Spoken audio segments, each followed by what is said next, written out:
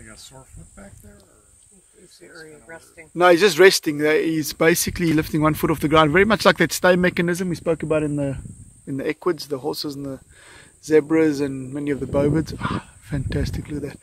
So he'll often just lock his legs into position and take the weight of one and alternate. And so here he's busy eating the soil, as you can see, uh, to get all those minerals. But he'll every now and then puff some up onto his skin as well, just to keep the flies and the sun at bay. This is called geophagia.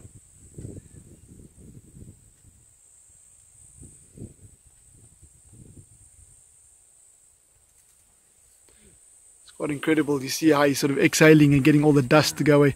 You imagine what it must be like eating mouthfuls of soil. You choke up a little bit.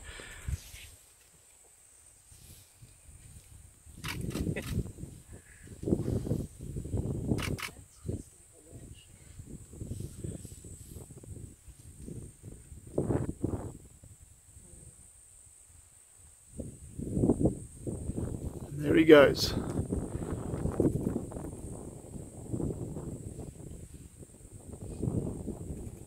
See how he places that back foot over where the front foot was.